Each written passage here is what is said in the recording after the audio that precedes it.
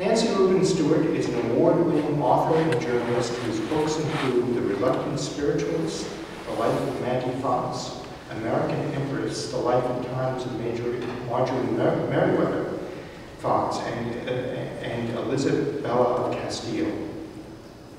Uh, we're also offering many of um, her books for sale tonight, and she will be uh, uh signing copies after the formal portion. Among the many publications that she has written for include the New York Times, the Los Angeles Times, and McCall's Family Circle, American History, and Travel and Leisure magazines.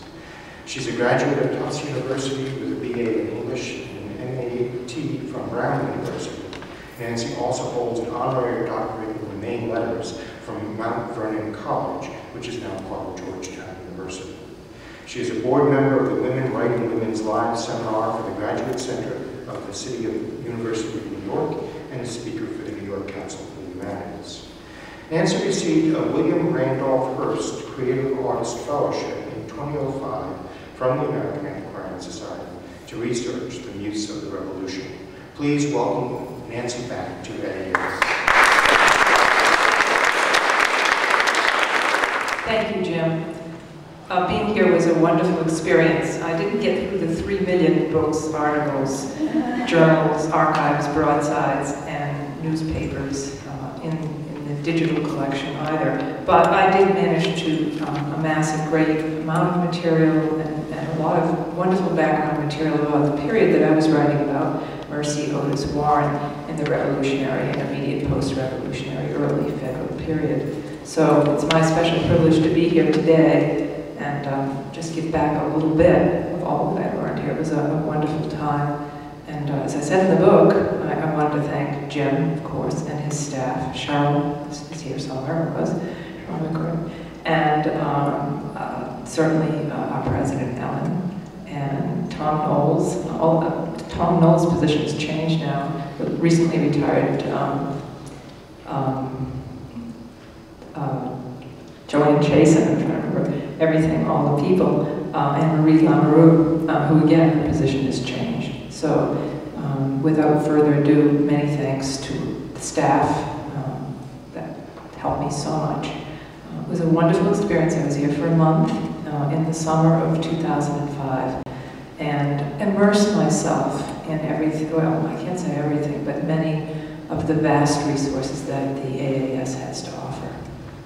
So without further ado, um, we're all used to questions and tests and exams. I'm going to give you a little test before we begin.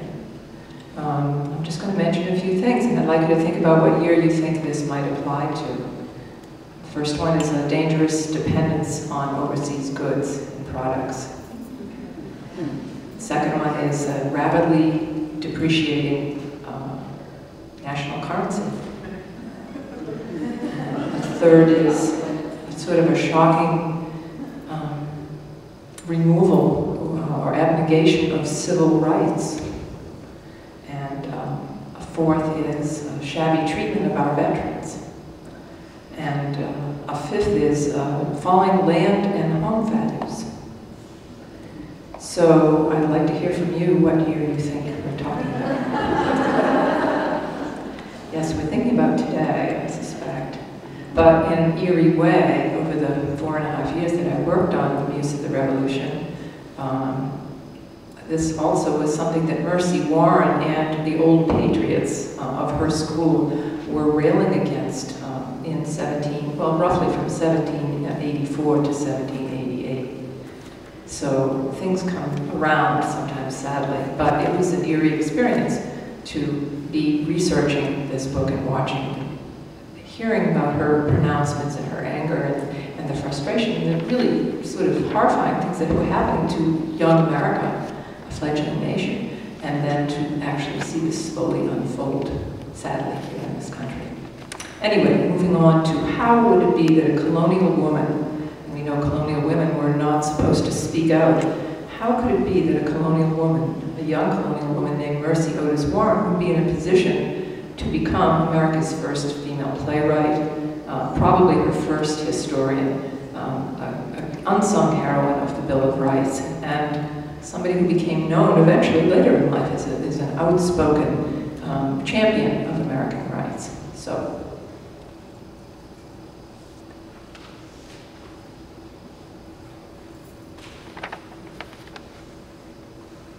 Jim, I hope I have this right.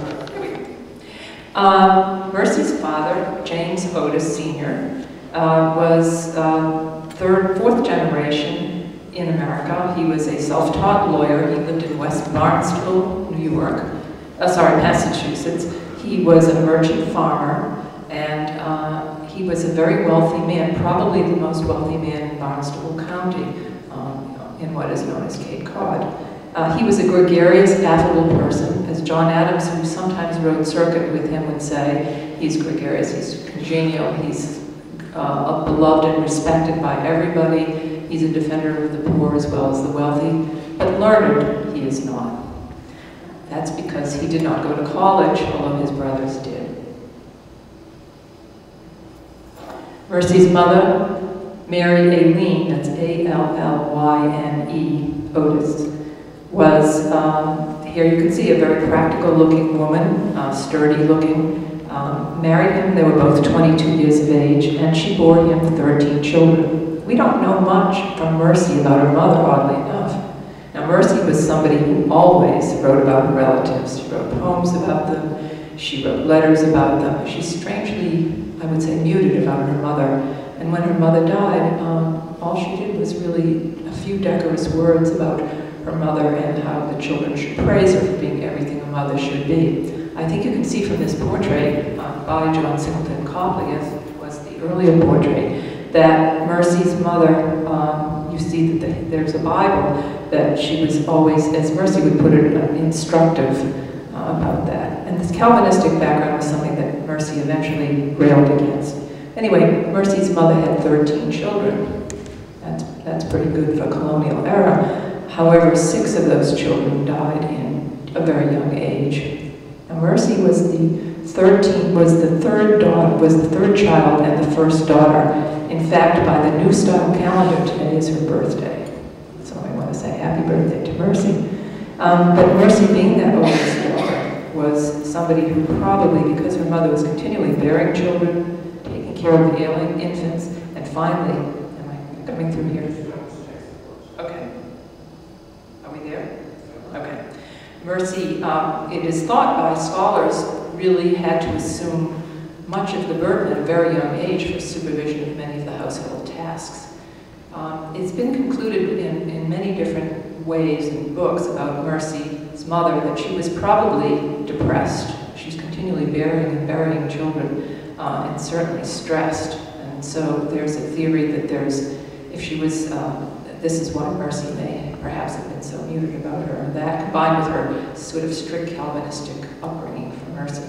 However, um, Mercy had a, an out, let me say, a little escape from the domestic drudgery, the, the long, long course of, of uh, challenges that she had, being a colonial woman, soap making, candle making, taking care of cleaning, sewing, needlework, uh, and cooking and so on, and supervision in her well-born household of servants, and that was that um, she loved her father, her father and she were very close, and she had an older brother whom she adored. We'll come back to this in a minute, but Mercy grew up in a, a large mansion house in West Barnstable with farmlands surrounding a large staff of servants. Uh, and it is there that it's felt that she really, the servants often ate at the family board at lunchtime, which was the rural custom of the day. It felt that as there Mercy first got her in touch with the common man, because she knew these servants and the field hands very well as she grew up. This was uh, another of Mercy's favorite people, James Otis. You may know him as James the Patriot, James Otis Jr., her oldest brother. And it was this brother that her father lavished his hopes upon, that he would be the great lawyer, go to the college, of course Harvard at the time, uh, and really make a name for himself in politics and otherwise um, for uh, the family. And James Otis was Mercy's beloved oldest brother, who um, she adored. There's a second brother named Joseph. And Joseph, very much like his father, kind of dropped out of school early. So Mercy, who wanted to be tutored along with her brother, begged and pleaded it is thought, with her father, who gave in and said, okay, you can go sit in on the tutoring sessions with your brother. And it was through that experience, through their uncle, John Russell, the Reverend, uh, the nearby church, that Mercy became introduced to the great literature of the day. And so she read Shakespeare and Milton and Pope and Dryden and later she read Homer and Virgil. She did not read them in Latin and in Greek the way her brother did, who was preparing for uh, the exams in college, but she read them in English. This is the 1717 West Parish meeting house in Barnstable that her uncle, John Russell, uh, was the minister, where, the, where he was the minister. And this is the meeting house itself as it stands today. This meeting house, um, 1717, revised uh, just a few years later, uh, is said to be one of the oldest meeting houses in New England. West Barnstable. And you can't really see it too well here, but on the roof, um, there is a rooster weather vane. And the rumor goes that the ball that the rooster is sitting on is, has within it rum that was smuggled in by the uh, colonists. This is the parsonage where uh, Reverend John Russell lived and where Mercy and her brother walked every day so that they could be tutored. Now Mercy was supposed to nevertheless be a good colonial woman, and that meant she would grow up and be married and raise children and be involved in needlework and sewing and all of the other chores. To do so, colonial women were supposed to produce, especially well-born ones, what's called a chimney piece. As its name implies, that chimney piece would be something that was, was really the thesis, if you will, for a young colonial woman. Um, it would be needlework, and of course it would hang over a chimney. But we don't have Mercy's chimney piece. We do have her cousin, Melissa Bourne's chimney piece, is hanging in the Boston Museum of Fine Arts. We have her sister's, Hannah, chimney piece, but we don't know where Mercy's is. However, we have something even better. We have this card table, and uh, it is quite elaborate. You'll see it's just a little cutaway of what it was. Scholars uh, suspect that it probably was sketched uh, by Peter Pelham in his needlework school in Boston. Uh, and then she, she may, she and her sister, it looks like from some of the account books um, that we've seen, that she and her sister probably attended, if not that needlework school, one of them, and, and may have learned there. But Mercy, Mercy was sort of a mistress of everything she did. She, she always did everything to excess and to excellence. So you can still see this card table, and when you see it in real life, it's quite extraordinary. Uh, it is in Pilgrim Hall uh, at, in Plymouth. It's on display still. It will be on tour, I think, at the end of uh, the beginning of 2009. But you can still see it there today, and it'll be back, I guess, in a year or so. This, of course, is the famous John Singleton Copley portrait of Mercy Otis Warren. Uh, the curators at the museum think it was uh, pretty sure it was 1863 when this was done of her. Um, she's still a young woman in her 30s here. By the way, these are probably not her clothes. Singleton Copley had a way of uh, dressing some of his subjects, and the curators have noted that some of these clothes have appeared in other portraits uh, that he did. But if you look at it, I think you can divine for yourself um, what he's trying to say. Copley was a terrific psychologist. So what do you, what do you think you, you see from this portrait about her? Determined, okay, all right. Yes, a lot of uh, a lot of people have said uh, that you know her, her her body, her her mind, her piercing eyes, they just virtually leap out of this canvas, and uh, she's very intense and she's very energetic. Uh, and when you see that and you compare it to the picture of her husband, I think you'll see quite a difference. Yes, and the hands are also noted that they're active. Um, the fact that one of them is sort of perched over a nasturtium may indicate that she was, which she was already doing at that point, still a very young woman writing nature poetry, but also she did love to garden. This is her husband, James Warren. She didn't get married to him until um, she was 26, which is rather late for a colonial woman. Uh, and again, the historian scholars have speculated that it, perhaps it was because she was so educated. After all, as Rousseau said, an educated woman is a scourge to her husband and her children. Uh, and education among a woman was considered useless. I mean, after all, that wasn't what a woman should do. Women should not be involved in politics and should not be expressing opinions. They, their sphere, even then, before the Victorian era, well before it, was in the home. Nevertheless, uh, James Warren was the son of the High Sheriff of Plymouth. His father and uh, James Otis Sr., her father, were friends, knew each other through legal circles, of course. So there have been uh, many theories advanced as to how they met. Also, James Warren was a Harvard graduate, three years younger than her brother, and they may well have met at the Harvard commencement for James Otis Jr., which Mercy attended. Now, some people have written that they believe that this was an, obviously an arranged marriage between two very wealthy families, but fortunately, one of her letters uh, has indicated that probably wasn't so, um, because she writes that her attraction to James Warren um, was like the needle to the pole, it was irresistible, and uh, that from a very early age, she essentially had been in love with him. They had a very happy marriage, a long and enduring and happy marriage, and within it they produced five sons. Of course, Mercy moved from West Barnstable, off of Cape Cod, um, to Plymouth, where James Warren became High Sheriff after his father's death. He also was a gentleman farmer, and they lived at first in the old family homestead. By the way, they're related um, back through the Edmund Doties of Mayflower fame, uh, distantly related that way. This is the home where they lived, and I had the privilege of going there uh, and having a tour of it. And if you know where the Plymouth Plantation is, you know the little river that threads through the bottom of that, the Eel River, their home is on the other side.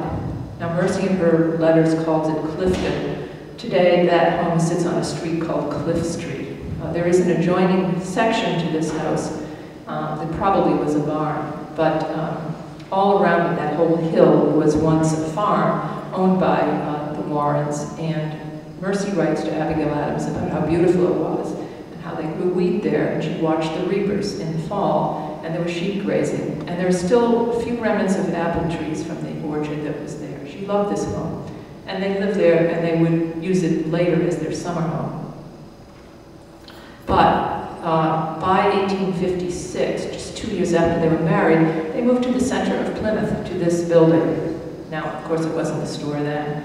It has been, unfortunately, uh, commercial building for the last 150 years, but I think you can see the old shape from it, the gambrel roof, and really a, quite a fine home. This was Governor uh, Winslow, an early governor of Massachusetts' home originally, and the Warrens were distantly related, well, really not so distantly related to the, to the Winslows, and eventually James Warren bought this. This is where Mercy birthed her five sons. This was a, uh, just a, a very, really just a hop across the road for her husband uh, to attend to the courts. And it's now located, still located in, of course, downtown Plymouth on the corner of uh, Main and North Streets.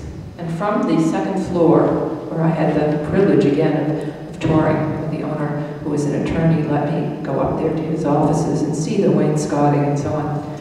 You can see from the back of the house where probably her bedroom was, and she writes about that northeast room uh, where she wrote many of her plays and and works. Um, you can see down to Plymouth, Plymouth Bay and to um, the Rock. Abigail Adams also writes about this because, of course, this was a site for many of the, even though it was in Plymouth, the Sons of, of Liberty secret meetings in the 1860s and into the 1870s. And Abigail, who doesn't meet Mercy until 1873, writes about General Warren's hospitality, where they always hosted meetings. It was here, when Mercy sat and hosted many of those meetings, um, that John Adams became impressed with her literary ability and began to beg her to write about the revolution and to be, be, be a force in it. When I first started this book, I thought I would call it Dare I Say More, because Mercy was most hesitant to ever write, in the beginning anyway, uh, in her own name and express political views and express some of her strong views about the revolution. But it was John Adams who kept encouraging her and kept telling her that she had a genius pen like none other in America. This is how the house looked about 100, well, maybe 100 years ago. Here we are to John Adams, but I want to back up to her brother first, James uh, Otis Jr. James Otis was a brilliant man. Her, her brother evolved into a, a very prominent Boston lawyer. Um, he became the Advocate General for the, for the Admiralty Court. Uh, that, was a, that was a crown appointment, and he married a very wealthy uh, Boston woman, and um, was known, you know, in the pre long pre-revolutionary period uh, as a very prominent person. Among his clients were John Hancock many of the merchants and traders uh, in Boston and that was his uh, wealthy clientele, along with his work at the Vice Admiralty Court. But then a funny thing happened in by 1861. Um, as you know, there was uh, a lot of trade with the West Indies, and a lot of smuggling that uh, was going on, according at least to the British, looking back to the old Navigation Acts. And in 1861, uh, British officials in Massachusetts were breaking into people's homes and shops and warehouses with what were called writs of assistance, general search warrants. Uh, I guess that's the old version of today's wiretapping, um, writs of assistance. In any case, um, this greatly upset the merchants and the traders. Many of them were indeed probably smuggling, um, but this became a furor, uh, and it was, it was none other than um, Mercy's brother who took over the cause. James Otis threw over his crown appointment, um, defended his merchant clientele, and for four hours in a stunning case against the crown uh, in Boston's old State House, uh, in the council chamber, defying Chief Justice Hutchinson and his cronies and buddies, uh, and seated by Middlesex and Essex County barristers uh, throughout the you know, throughout the region, declaimed for four hours on the illegality, the unconstitutionality of these writs of assistance. The audience was stunned, uh, and he went on for four hours in a, in a very brilliant legal discourse. Uh, his knowledge of British law was vast. And it was John, John Adams was only 24 at the time, and he, he scribbled notes, and later in his diary he wrote, it was then the child of independence. The child independence was born. It was then that, that James Otis Jr. first said, taxation without representation is tyranny. James Otis went on to write many treatises in the 1760s, um, defending the rights of the colonists to self-government um, and, uh, and decrying uh, many of the acts. He became, of course, the leader with Sam Adams of the embargo following the Stamp Act, Stamp Act Congress, and uh, continued to be uh, fomenting um, rebellion and uniting uh, and being one of the inner members of the Sons of Liberty. A sad thing happened, though, by 1769 in September, just uh, the beginning of this month, so many years ago, and that is that he became involved in some press arguments with the British. And in one, he wrote uh, that the British were, uh, a certain British officer uh, was a blockhead. And uh, this became the basis for an enormous fight in the British coffee house in which James Otis was brutally assaulted. His head was sliced open. Um, there, there's a lot of writing about that and a number of newspaper descriptions about that. And finally, uh, and he never really quite recovered. Um, that is why very few people know about James Otis today when we think about the leaders of the revolution, although he was the first one who sparked that revolution, the, the early firebrand. James Otis continued in politics. I'm just going to leave him here because we go on to Mercy and her life. He continued in politics on and off for the next few years. Was never, never really right. Came in. Was taken away by his family to the country to recover, uh, and was finally declared legally insane. Mercy was writing nature poetry, and his own husband is involved, not only a member of the assembly, but is involved now in these secretive Sons of Liberty's meetings, and is obviously one of the agitators uh, for, the, for um, if not independence, certainly for just rights. It is at that point that Mercy takes up the pen in her brother's.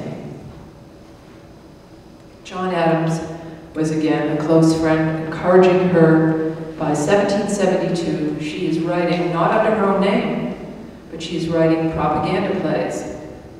The first one is The Adulator in 1772. Of course, when you read them, they may be difficult to read. Not only are they done in the neoclassical Pope style, but the names that she uses are, are neoclassical. She calls Hutchinson Rapatio. She has other very colorful names uh, for people, Duke, General Brigadier, Hateall, um, uh, Crusty Crowbar, Simple, Dupe, uh, and it goes on and on. And uh, there's a wonderful scholar named Jeffrey Richards who has really decoded these plays and actually identified some of the people that she, these were codes for people that, it's kind of like a Saturday Night Live, if you will. Mercy didn't stop um, with that. She, she, uh, you know, she, she began to write things like the Massachusetts Liberty Song, but never under her own name. And during the Boston Tea Party, um, John Adams begs her to write something. And she does end up writing kind of a rape of the lock, little sort of series of stanzas about the Boston Tea Party. Her name isn't on it. Of course, it's published in, uh, all of these are published, in fact, uh, in not only the Boston Gazette, but often the Massachusetts Spy, our Isaiah Thomas's old paper. Here. Um, the, uh, the, the ditty on the Boston Tea, tea Party has nymphs who are uh, drinking the water from the sea and discover that it suddenly tastes like oolong and souchong tea. And of course, in the end, they defeat Hutchinson. Um, she writes several plays, and John Adams is continually saying to her, keep writing, but she won't put her name on them. Many of her letters and her correspondence um, swear her friends to secrecy. Because if anyone finds out, first of all, she and her husband and the Patriots, of course, are already perhaps going to be judged treasonous, almost certainly be judged treasonous by the British. Uh, their husband and John Adams will maybe taken to some other British colony or to, to England itself and beheaded. Now, if her name's on that, that even, that's one more, one more reason, one more goad for the British. Furthermore, she is the sister of James Otis, who is, you know, a known enemy to the British authorities. So, and thirdly, and perhaps most important for our purposes today, she's a woman. And she hesitates and continually asks John Adams, you know, is this right for a woman to do? Is it, am I supposed to be involved in politics? And he keeps encouraging her to write. And as the revolution kind of rose up, he says to her, stop writing a history of the revolution. We'll, we'll get to that in a minute. Of course, she meets Abigail finally in uh, 1773 for the first time. Now, Abigail is 16 years younger than Mercy. Mercy is nearly um, is getting towards you know closer to 50 at this point. Abigail is still a very young woman, but they have an immediate simpatico, and the letters begin to fly back and forth between them. Of course, John Adams and James Warren, her husband, are very friendly. So the two couples are very friendly. Not only are they all educated and have similar ideas, they're they're deeply involved in the the American cause. Uh, there's wonderful letters between Abigail and Mercy. They sometimes exchange children. Mercy, for instance, uh, has her daughter, the Adams daughter, Nabby, uh, for a while one winter and educates her. Uh, and they exchange children, they exchange child-rearing philosophies and books, uh, they exchange ideas about recipes and plans. Later, as the revolution, in the midst of the revolution, they share resources, which of course are becoming. And Mercy even eventually acts as an agent for Abigail's sort of little importing business. Well, things of course heat up, we know Boston becomes occupied, and things get from bad to worse. And in by by uh, late by 1774, we have our Rump Congress, or our first provincial Congress. We have, uh, of course, also our um, Continental Congress in Philadelphia. John Adams goes off to that um, and Mercy sort of comforts Abigail. But Mercy's own husband goes off to the provincial congress here in Massachusetts, which, which goes, starts again in Salem, um, much to um, Governor Hutchinson's dismay. And Mercy is um, very much afraid, but she's still writing poems and plays. And she finally writes a play in the winter of 1774 uh, called The Group. And this play uh, predicts uh, really that there will be a battle on a country green in which the British oppressors will be destroyed by the, the right cause, the American patriots. Uh, John Adams is so enamored of her writing that even before it's finished, he asks her husband to send him a first draft, which, which uh, James Warren does. It's published in Philadelphia, then in New York. uh, and then eventually it's published in the newspapers uh, in Boston and put into a pamphlet. Never is Mercy's name on these. Uh, there are, by the way, plagiarisms of her plays already with other people's names on them, and plagiarized and sometimes reissued as pamphlets. Just before, of course, in, um, let me back up for one second.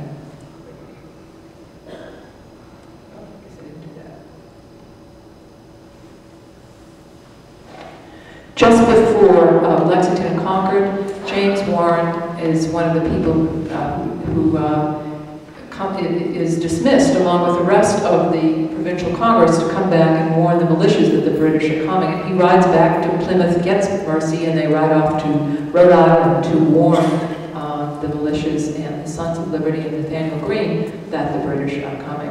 And later, he is now in Watertown uh, at the uh, Provincial Congress's new headquarters. Um, and it is the eve before the Battle of Bunker Hill, and Mercy writes about that says, I, I fear we're on the, on the brink of the Battle of Bunker Hill. Now, granted, she knew about the fact that there were uh, soldiers plowing the countryside and the arsenals were being, uh, you know, there were, there were more military action. But it's a little unnerving to have find that letter uh, written literally the night before the Battle of Bunker Hill. During the Battle of Bunker Hill, the president of the Provincial Congress, Dr. Joseph Warren, no relation, no, no exact relation anyway, maybe distant, is killed. Um, you've probably seen the, the uh, painting of him dying at Bunker Hill. And Mercy's husband is suddenly becomes president of the Provincial Congress. He's also Speaker of the House, and uh, Mercy finds when she comes to Watertown to visit him that he's a changed man. He's also Paymaster General of the Continental Army. This is before Washington gets there. And Mercy is sort of compelled to be his private secretary and take up some of the writing tasks because there's so much to be done. He's trying to get powder. He keeps writing to John Adams, get me powder, gunpowder, of course. Um, we're trying to recruit people. We're, we're trying to keep the army in order. Um, we've got to get food for them. We don't know what the British are doing, but this constant military movement around Boston, and it's a terrible time. Now, Mercy has five sons. Four of them are still back in, uh, in Plymouth. And having been a farm girl, I guess, well, some scholars think she actually rode on horseback those 35 rough miles over dirt roads from, from Plymouth to Watertown to be with her husband uh, on at least five occasions between July of, two, of 1775 and November of 1775. And she writes to John Adams to report to him on what's happening because John is writing letters saying, nobody's telling me what's happening. We're all so busy there. What's happening? He's, he's at the Continental Congress. And Mercy essentially becomes the first female reporter. Uh, and John Adams keeps encouraging her to do that in his, his letters to them.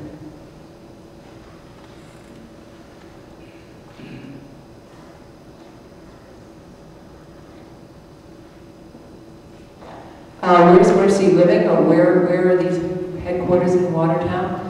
Uh, they are at the Edmund Fowle House, uh, which is on Marshall Street now, just off of Mount Auburn. And this was a new home, only a few years old, that was rented out to the Provincial Congress for their executive council. Uh, and it's still standing today. It's just been restored finally this summer after many years. This is what it looked like about 100 years ago. And of course, I don't have the newest picture, but I, Spoke there the other night. It's quite wonderful. The second floor has the executive chamber. The architects have taken it apart and restored what was a long, narrow room and beyond it is a bedroom where James Warren, Mercy's husband, slept because he was essentially on call 24 hours a day during that terrible period. Uh, downstairs are many, um, well, there were, there are, two formal parlors, and there were rooms for, um, there was a dining, dining room and a kitchen where many of the soldiers and the representatives of the House and, and so on met. We know that many uh, important people uh, came there over the, over the next uh, course of the next few years um, including um, obviously the Adams, both Sam and John. Uh, later on, um, well, James Otis was there, Paul Revere was there, and the list kind of goes on and on. This is the executive, uh, one portion of the executive chamber uh, from earlier picture during its restoration. And this is a letter from the owner. I just want to take a minute to read you one thing that's pretty funny about it. uh, by, by January of 1776, uh, he is complaining that uh, this house has been kind of ruined by all of the people trooping through there, probably drinking a little too much at night in dining rooms and whatnot. And he says um, that the Committee of Congress and the General Court have impressed his house to sit in and do their business ever since they're sitting at Watertown, that the Secretary of Congress and the Clerk of the House have kept their office in it, and that they have occasioned extraordinary inconvenience and trouble to him, that his furniture has sustained considerable damage thereby, and he hasn't received any pay therefore. And they reply on January 8, 1776, in House of Watertown, some of this is a question because I can't read everything, that they be paid out of the treasury of this colony to Edmund Fowle the sum of four pounds ten shillings for the extraordinary trouble the committee had executed in sitting in his house from the first day of Congress, sitting in for burning of wood and candles in this town to this day, and the damage done to his furniture. As you know, there was a lot of propaganda, much of it in cartoons. Um, here, of course, is poor Britannia being destroyed by the American Indian, the, uh, the symbol of. And another one of poor Britannia is growing faint and dying at the hands of the terrible uh, American press. Well, after the Revolution, James Warren becomes one of the directors of the Navy Board in Boston. And Mercy is back in Plymouth with a couple of her sons who are still home. I should mention that Mercy is not too pleased about this. She kind of feels like she's looking at an empty nest and a husband who's, as usual, totally wrapped up in his politics and business. She's not happy about it. And so after the, in, the, in that period, finally, and this is a great triumph to the Warrens, of course there are many Tory homes and, and homes of the Loyalists that were taken over by the colonists, uh, not the least of which was Governor Hutchinson, their, their arch enemy's home, and it's their great satisfaction that they finally buy his home.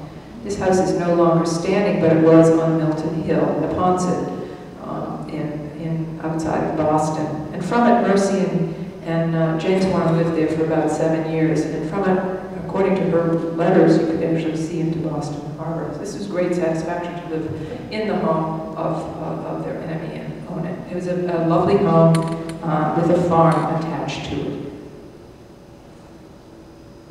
Mercy and uh, Mercy is continuing to write her history of the revolution, I have to say to you, during all this time. But she can't publish it because she's very upset with what's happening in the country after the revolution. We do have a recession and then a depression, just, just as I started to really talk about this earlier tonight. Um, and there, she's not sure about many of the, the old values that the Patriots had being actually visualized and realized in the new country. They have five sons, as I mentioned earlier. The first one um, is a veteran who has, uh, has to have, becomes an amputee uh, as a result of his service um, uh, aboard a ship. Uh, the second one never goes to, to college but stays home with her during the revolution, and he's her favorite son, Winslow. And Winslow, this is another painting by Copley, this was done in England some years later.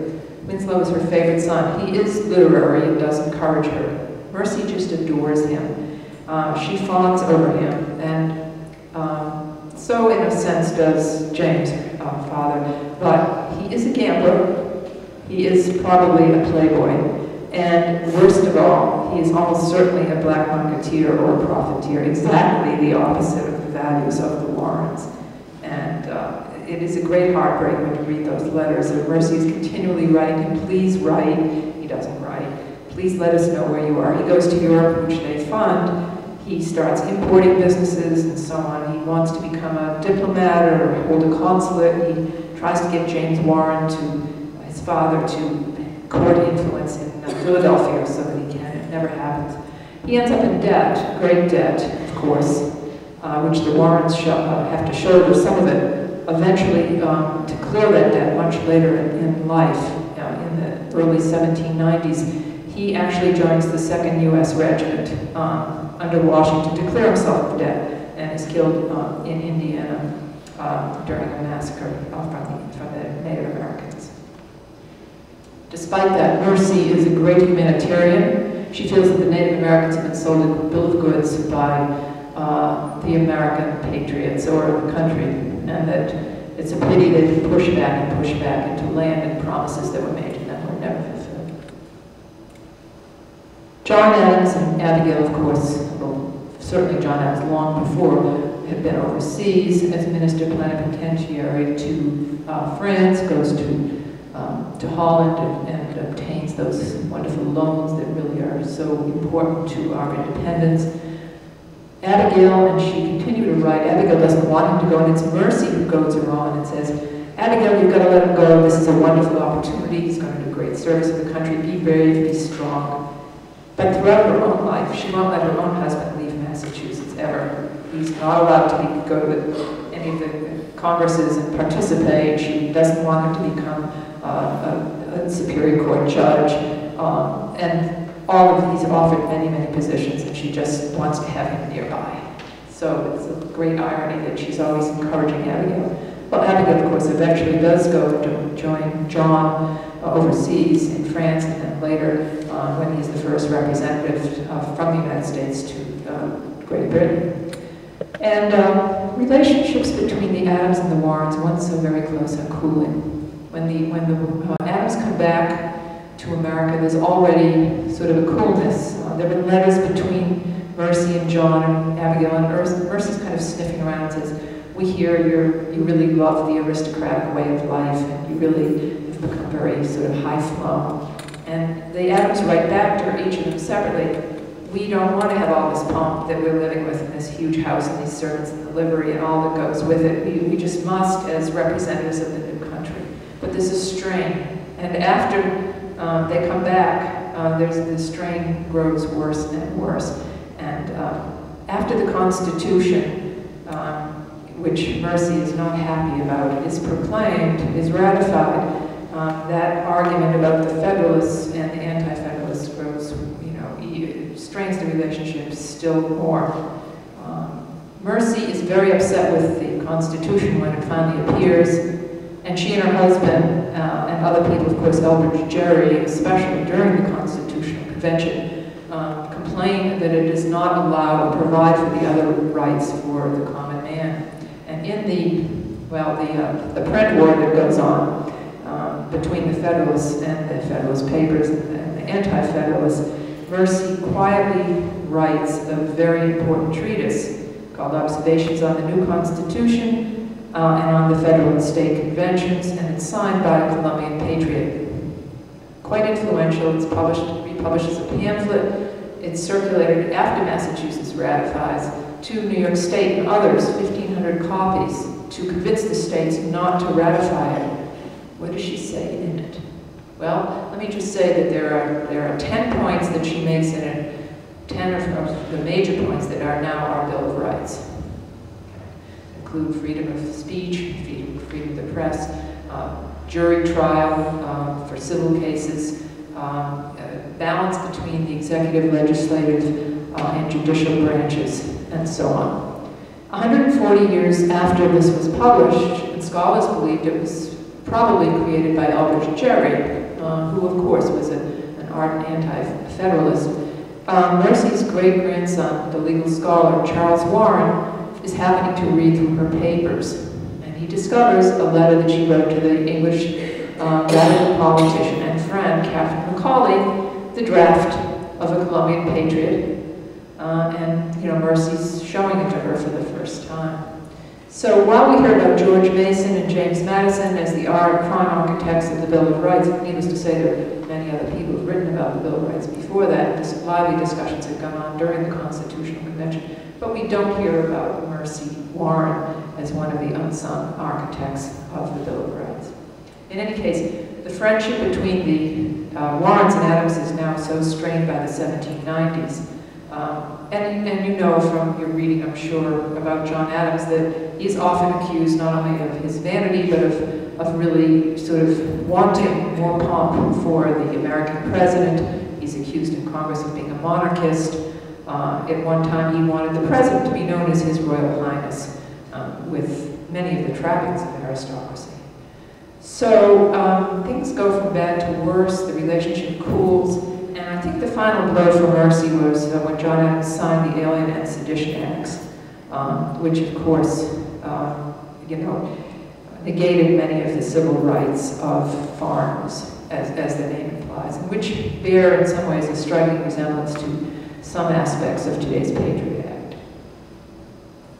Mercy and Abigail's relationship, needless to say, is kind of sort of voce. Uh, it, it, uh, it goes on in a very strained way. I mean, they lived through so much together and raised their children together that there's an obvious strain between them.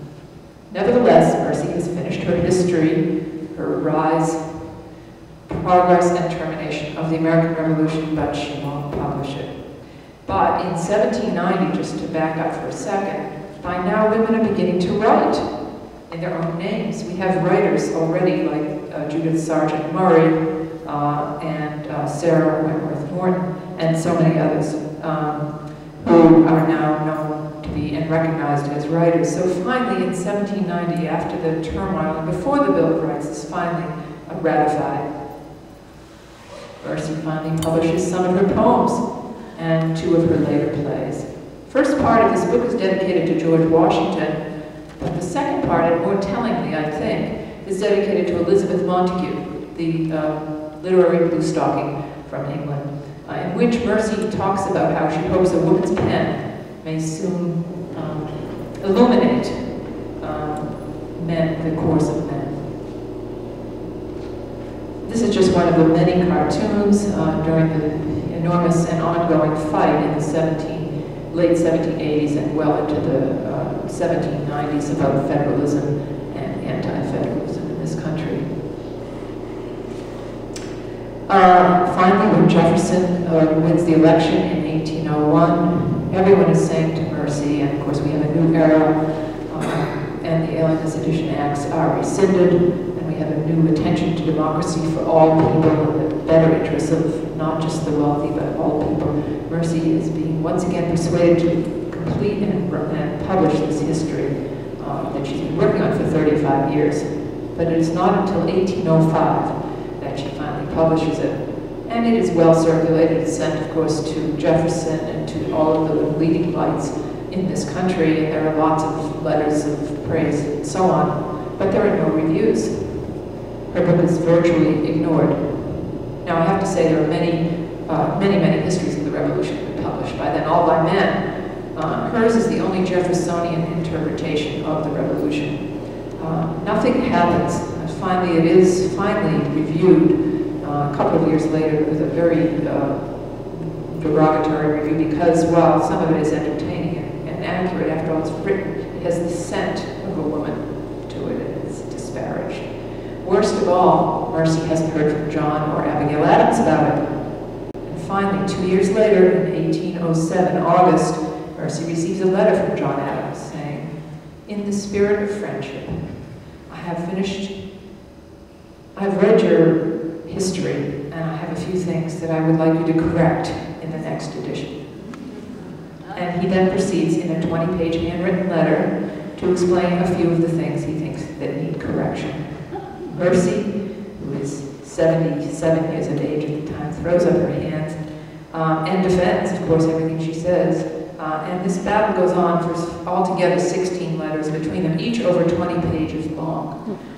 It's quite wonderful. John is furious that she calls him a monarchist. He thinks she doesn't give him enough credit for everything that happened in the revolution, starting back in the 1760s. Um, he wants her to add in everything. He tells her that he has been just instrumental in everything. And she has ignored this. And she says, but I'm writing a history of the revolution. I'm not writing a panegyric about you. It is much more than that. And uh, he's, he's just furious. And, and, and he finally says, comments in there are wonderful. He, he says things like, your 31st chapter, madam, is like mustard after dinner. and she writes back, well, it's better it's mustard after dinner than vinegar and nitre that you season all of your lettuce to me with. And if you think about it, it's almost like a Greek tragedy, with these two old people battling with their hands instead of their swords. Um, to, uh, to, um, to Charles Adams, a, a great-grandson of, uh, of, uh, of, President Adams, uh, John Adams, um, he has published this in a wonderful collection called The Correspondence of of uh, John Adams and Mercy Otis Warren. It's just those 16 letters. It takes up 400 pages of the book, so you can imagine what went on. And finally, um, Mercy said, well, if you, if you don't like what I've written and you think you've done all of these things, you should write your own history of the revolution. And it'll be all about you, it will be never finished because you're going to have to have every single detail of every single thing. And by the way, John Adams, you aren't a suave politician. I know you well, John. You were not great with the French. You have no good manners with any of that. I've known you for 35 years, John. And it goes on and on like that. But finally, at the end of her sixth letter, 180 pages later, she says, I will not write to you anymore. I expect an apology. This is just outrageous. And that ends their friendship for almost six years. Um, and six years go by. Um, Mercy's husband has died. Um, she is now in her 80s, and it's the War of 1812. And um, Nabby and Abigail come to visit. Nabby, of course, is suffering from breast cancer. And it's a, a touching series of letters that I've read about that between them. But the reconciliation is finally made, of course, after Jefferson and, and Adams reconcile. Elbridge Gerry finally arranges, after Nabby's death, really, um, a reconciliation between John and Mercy. And it is Abigail who sends locks of hair from John Adams and from Abigail to Mercy, and she sends her own back. And so it goes. And then there are lovely letters between. Mercy is now, of course, it's the War of, of 1812. Um, but Mercy is uh, now a woman who's, you know, not only only just a few signers left, there are very few women in their 80s who lived through the revolution known the characters, really participated as only a woman could uh, in that, who finally um, is considered, you know, an icon of the revolution. She's kind of revered at this point in her life. Um, in 1814, in August, um, she writes to John and asks him for one favor. She said, John, I heard that somebody at the Boston Athenaeum, there's a, my play, my most famous play, The Group, the one that was published just before Lexington and Concord, um, somebody's name is splashed all over it as the author. Can you please correct that? And so John rides to Boston in August of 1814, and he scrawls all over it, this play, The Group, was written by Mercy Otis Warren, signed President John Adams. And this pleases her enormously. If you go to the Boston Athenaeum today, you, you can see that, that play, and you can see his handwriting. Mercy dies um, just two months later, um, and um, we don't hear a lot about her after that until 1848 when Elizabeth Ellet writes her Women of the American Revolution. And we still don't hear anything about her until, for another 40 years until Susan B. Anthony and Elizabeth Cady Stanton and Matilda Joslyn Gage write their history of women's suffrage. Um, before I conclude, I just want to read you one, one passage from her history that I think is really relevant today.